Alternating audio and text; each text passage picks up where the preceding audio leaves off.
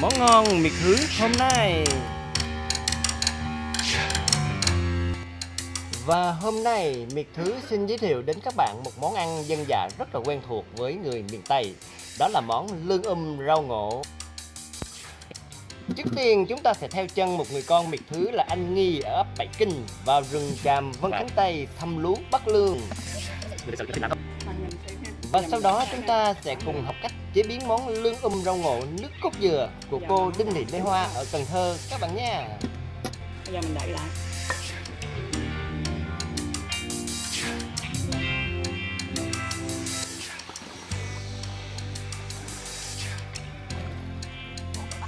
Rồi bắt bắt bắt bắt bắt bắt thôi. Chúng ta lại có một bất ngờ khác. Đây là cá gì?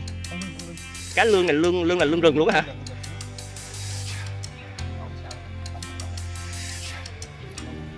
Nó có cái lỗ rách đó không chứ? Wow Hai con hả? Ba con Lương này ở đây em ăn thì em ăn sao? Em nấu gì? ờ hết là Ờ, trên đường đi anh thấy ở đây có rau ngộ Một lát nữa em đi ngang chỗ nào có rau ngộ em chỉ anh để anh quay giới thiệu cho mọi người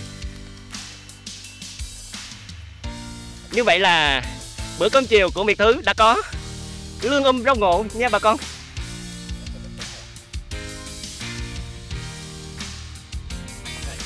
Wow. Đặt hai hôm Nhưng mà cũng hên xui đúng không? Đúng rồi. Nhưng mà rừng mà đúng không? Nếu mà ngắn quá thì đâu đâu có thể nào mà. Không có như cái lỗ nó phải là ba phần đựng ờ, bắt chỉ bắt cá mỹ rồi không bắt cá non. Rồi hiểu.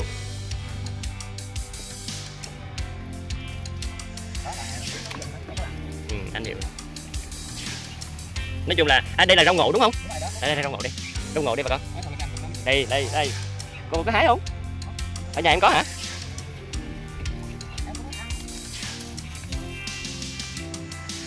Đây đâu ngộ đây. Mình chỉ ăn cái đọt thôi đúng không?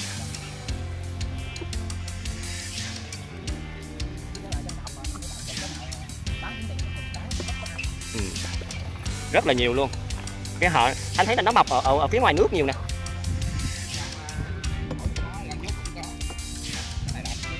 Rồi ok đâu có này thôi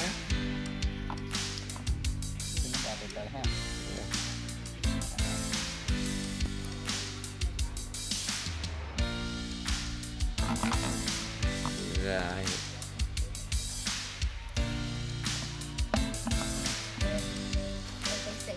Mình tự sự mình thích thì mình làm thôi.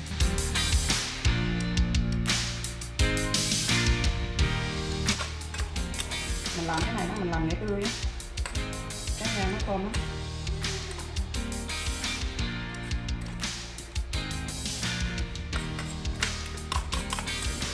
Rồi, các bạn nhìn xem ha. Đây hấp dẫn lắm đây. Bây giờ mình để ở đây ha. Khoảng 15 phút thì mình đem đi ôm. Bây giờ trong thời gian đó mình đi lặt cái cọng rau ngổ nha. Đây các bạn bây giờ mọi thứ mình đã chuẩn bị xong ha. Cái rau ngổ nè rau ngổ đã lặt xong nha. Rồi bây giờ mình bắt đầu mình sẽ để vô cái nồi để mà mình ôm ha. Thì ở đây thì à, hồi xưa lúc nhỏ mình ở nhà thì ba mẹ mình ưng bằng nồi đất, nhưng mà mình ở đây mình không có nồi đất, mình ưng bằng cái nồi nóng. Có gì ấm nấy có nồi nào ấm nồi nấy hết các bạn. Bây giờ mình cho một cái lớp rau ngổ ở dưới.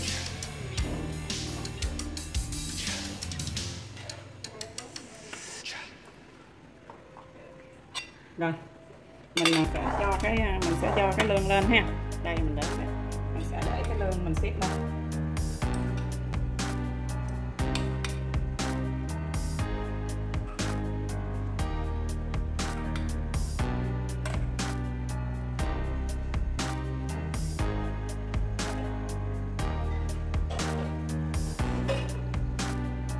Rồi bây giờ mình sẽ để cái à, nước cốt. Cái nước cốt này là cái nước cốt ừ, dảo này nha. Mình để vô đây. Nếu mà các bạn có cái nước dừa tươi thì các bạn để nước dừa tươi vô ha. Còn nếu không có thì mình à, để nước này mình để cái nước lọc cũng được. À, giờ mình đậy lại mình đem đi âm nha. Rồi giờ à, nãy giờ cái nồi lương nấu nãy giờ giờ mình coi cho nó ra sao rồi. Bây giờ là nó đã chín rồi phải không? Giờ mình để cái rau nổ này lên. Cái rau nổ còn lại là mình để lên mặt nha.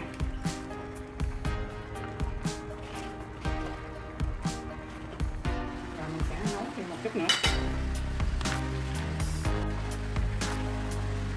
Cái rau nổ này, nó có cái vị ờ, nhẫn nhẫn nha. Nhưng mà ăn cũng không thuốc lắm các bạn. Nó là ăn với ờ, mắm nè, ăn với mắm kho ha ăn với mắm chân ăn sống cũng được, xào cũng được, luộc cũng được ăn chế biến một vài món nha. Bây giờ mình đợi lại.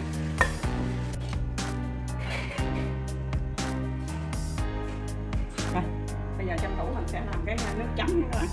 Thì trong cái nước chấm này thì à, phải làm cái tương hột mình mình nấu nha. Đây tương tương mình đã xay xong rồi nha. Mình làm với à, xả. Có nhiều xả mình làm mình sẽ làm hạt xả này. Và làm với một cái à, miếng cốt. À, cái nước cốt nha mình à, lấy mình làm nước mắm, miếng mình chừa miếng, để hầm để cho cái con lương cho nó ngon nha. Bây giờ mình bắt lên mình nấu.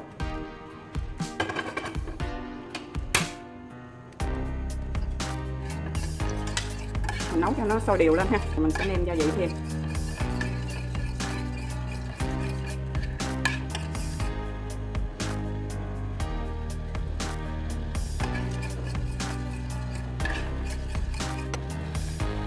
Tí bột nêm với một à, một à, miếng đường đó là được.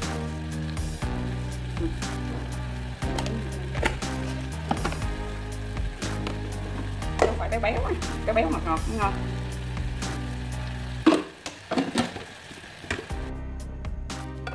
Đây, mình để cái dĩa đây nữa cho nó dễ chấm nha. Mình thấy cái lương. Để dành đi kiểm tra cái lương nó có đâu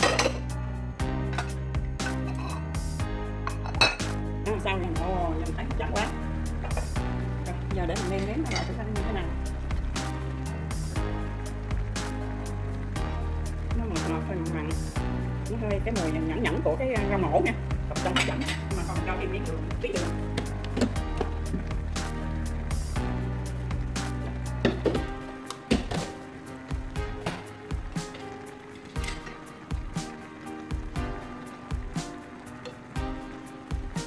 rồi, bây giờ mình sẽ tắt bếp cho ra dĩa.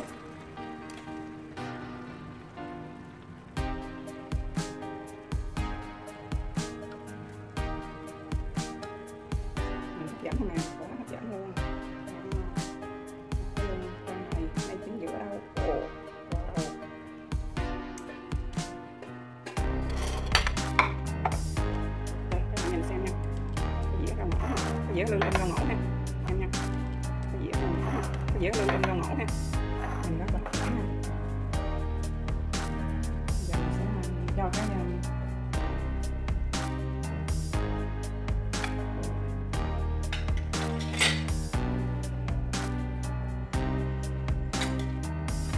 mình sẽ cho dài cái cọng rơm lên cho nó thơm nha. Đây. Thêm dài cái miếng ớt.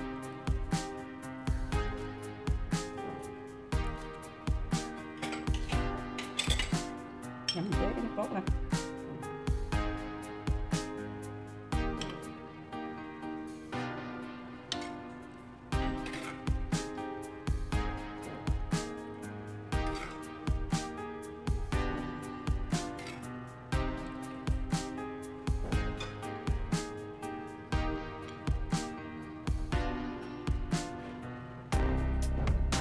Cái dĩa nước chấm các bạn nhìn xem, hấp dẫn không nè? Và đây là cái dĩa lương âm rau ngổ nha. Với nước cốt dừa của mình nha các bạn. Các bạn nhìn xem ngon không nè? Nhìn rất là ngon nha. Hấp dẫn lắm cái món này đặc biệt là chấm với cái à, nước chấm này nha các bạn. Nước chấm này là nước chấm làm bằng tương hột ha, với à, đậu phộng, xả nước cốt dừa nha các bạn. Ăn nó mới đúng cái điệu, cái món lương âm của nó. Rồi, mời cả nhà cùng ăn. Cái phần chia sẻ về cái món à, lương âm rau ngổ nước cốt dừa của mình đến đây đã hết rồi ha. Nếu các bạn thích thì hãy like và share cho mọi người cùng xem nha nhớ subscribe để ủng hộ cái kênh của mình ha. Tạm biệt các bạn.